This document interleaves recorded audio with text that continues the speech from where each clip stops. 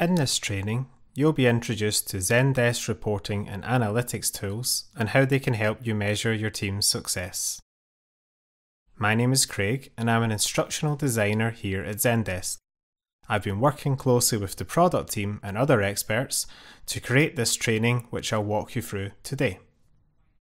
So, how does reporting and analytics help you meet your needs? Well, Zendesk reporting tools can help you and your business with powerful built in reports that enable you to view and analyze key information about your customers and your support resources. You can capture your team's data, allowing you to make data driven decisions that have a positive effect on your customer satisfaction. You can measure your agent's performance to identify and optimize workflows for improved efficiency. You can understand trends and gain insights into areas where improvements will have an immediate impact.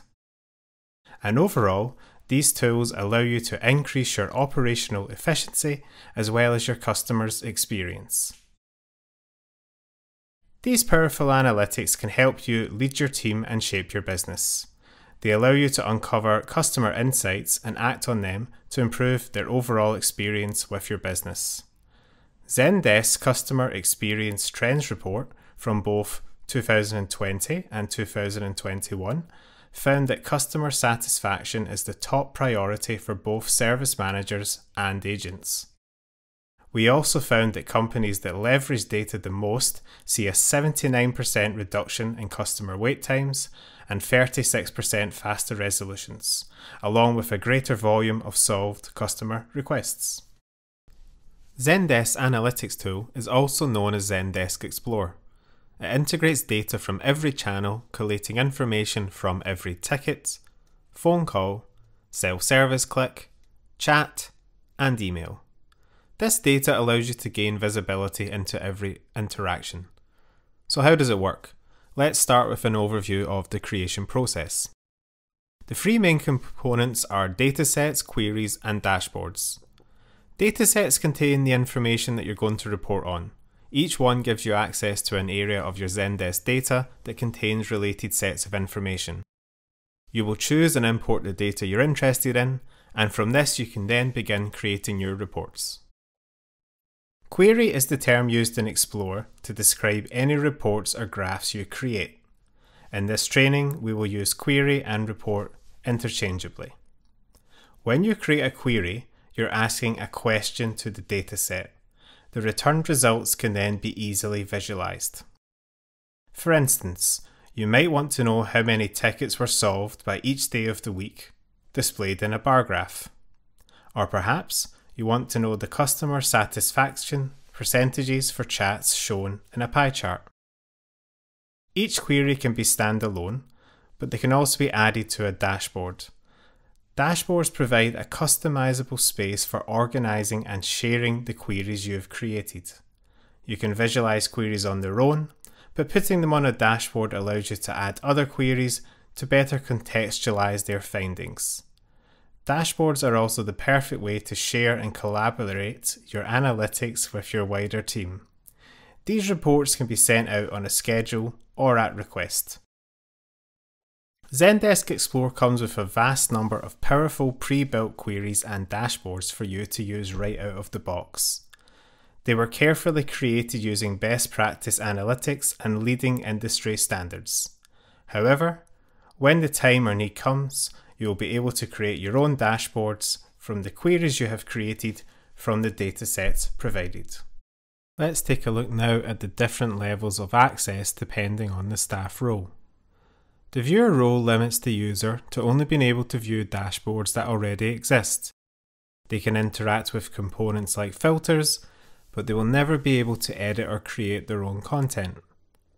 The editor role has the additional abilities for the user to create their own queries, dashboards, and datasets. However, they cannot manage permissions on them. The admin role is the same as the editor, but with higher level access to manage the overall account settings. This includes setting up e email notifications and deciding what exactly those with the editor role have access to.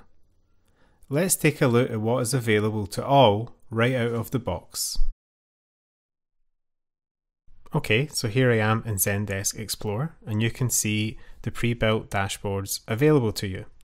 Now I'm going to go ahead and select the Zendesk Support pre-built dashboard to review. As you can see, there are a number of charts and figures here. Now this is all the information on your Zendesk support tickets. As you can see, it covers created, unsolved and solved tickets. Now there are also a number of tabs at the top with other areas and these will have reports all related with that information such as efficiency and assignee activity. There are also a number of filters here on the dashboard. Uh, one of the most important is the time filter. So I'll go over to that now and allows you to do advanced or simple changes to the date. Now the default is the last 30 days, but as you can see here from the simple menu, you could choose from the past month or the past year. The filters also extend uh, to groups, brands, channels. So here you could change and select your one of your ticket groups, such as billing or messaging. And once that is applied, the charts on the pre-built dashboard will update. And if I scroll down, you can just see all the graphs and reports available to you on just this tickets tab. So you can see there is a wealth of reporting data here. So next we'll look at the query library. So every query that you've created uh, on your Zendesk Explorer account, it will be stored in this library and you're able to favorite them and, and see what dashboards uh, they're actually a part of. So I'll actually just look at one of the custom queries here. Now this will open in what we call the query builder. Now when you're creating a custom query, this is the area you'll come. You select the data set or the, where you want your information to come, and then you can create your query here. So here we have uh, a knowledge base actually, and it's the number of views per user role. So how many people have viewed your articles? You can see that anonymous is the highest, but then we've got the staff member and the end user. And you can see that this is built from the metrics involved with the knowledge base, published articles, and this is also broken down by attributes. So in the column here, you can see the number of options available. So this is the query builder, and this is when you when you want to create custom queries, this is the area you would come. So now go back over and look at the data sets. Now this is all the kind of products related to your Zendesk account. So we have, you know, the data sets for guide, support for SLAs, AnswerBot. We have uh, a data set for ticket updates, tickets themselves, and then your channels here for calls and chats. And now we'll just wrap up by looking at the admin settings. So the first option here is for dashboard email delivery. Now this is when you have scheduled delivery of dashboards to colleagues. These will be displayed here. There's obviously none at the moment.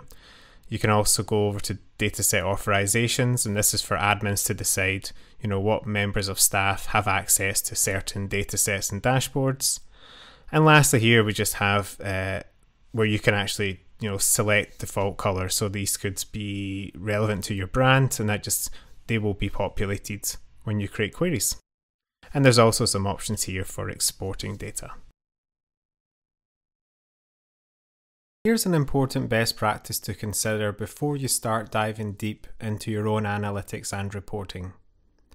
We advise you to define the metrics you need to measure and determine your reporting goals beforehand. As you can see, it's easy to get lost or overwhelmed at the volume of data available to you. Every customer service interaction has many different parts. For example, a single ticket could contain the ticket creation time, the language used by the end user, and whether or not the end user was satisfied. There are many data sets with a lot of information contained in each one. Reporting on all this data will be unwieldy and not a good use of time. You can certainly glance at the pre-built dashboards and their tabs, but it's much more valuable and efficient to know what you're looking for first. Well, where do you start? We'll look at some common questions you might ask yourself when it comes to defining the metrics you need to measure. The first is how and when do your customers reach you? What are your most popular channels? What hours and days are busiest? Does this remain constant or does it change over time? With this information, you can understand if you're adequately staffing the channels you have made available to customers. As mentioned previously, the most common measure of success is customer satisfaction. In particular, you might want to know if they're satisfied with the service provided by your agents. This could also be broken down by ticket groups or channels. Is there a particular group excelling or struggling? Is there a channel that is improving or declining over time? With this information, you can try to immediately address any customer pain points and make the necessary changes for an immediate impact. Luckily, both of these common questions can be answered within the pre-built dashboards. Let's take these reporting goals we've determined and return to the pre-built dashboard to find the answers. Remember we are looking for how and when your customers reach you, as well as overall customer satisfaction. The answer to our first question could be found on the first tab of the main support dashboard. As this is quite a common reporting goal, it makes sense that it can be found fairly easily. I'll also make a point of changing the time filter to the last year to get a better scope of the data that we're looking for. As you can see, these graphs and charts have now updated. And if we scroll down here, we can see two ready-made graphs to give us our answer. So here we have tickets created by hour. You can see that the busiest time last year is at three o'clock. And the, the on the right, we have the, the busiest days of the week. And we can see that that was Wednesday.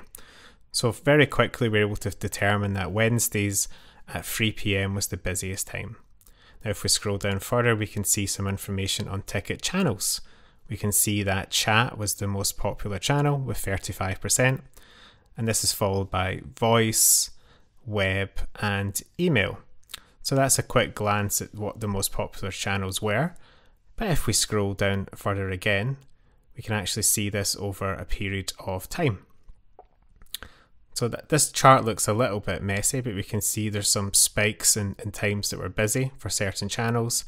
Now we spotted that chat was the busiest, so we can select that now and filter it, and we can see here. Now there seemed to be a spike around March uh, this year, so perhaps there were reasons there that for next year we can prepare and maybe change our staffing to adequately suit that. So our next question, we actually go to the tab for satisfaction. It's already there for us. And this time it'd be good to maybe filter by group to see how certain groups are satisfying uh, your customers. So I'll select uh, customer agents and we can see that the information has updated. And here again, we have a ready-made query that shows the number of good v bad satisfaction tickets the customer agents group is doing very well. We can see they've all been rated good, some with a comment and some without. But we can also look at different things. So if we go to Zendesk Talk, um, again, this is broken down by calls that come in. So we have the most popular hours for inbound calls and the most uh, the busiest days of the week. And again, we go to chat we can see similar information specifically for chat. Again, chats by hour and the average chats by day of the week. So very quickly we have defined these reporting goals and we've come on to our pre-built dashboards and we can find the answers to that. So how and when our customers uh, contact us and the satisfaction uh, for each kind of channel. And I'm just going to return quickly to the support dashboard. So if you have colleagues or managers who, who want to see this information. Every dashboard you can click on share. You can select groups of agents or individuals, and this will send a link to them so they can come and look at the dashboard. Or you could also schedule a delivery. So this could uh, come in someone's inbox maybe every morning at, let's say, 8 o'clock, and they will get a link to this dashboard and they can refer to all the charts and analytics. So, in summary, make data driven decisions to your business and teams using analytics. Increase your operational efficiency as well as your customers' experience by acting on reporting data and trends. And define the metrics you need to measure to help identify your business needs.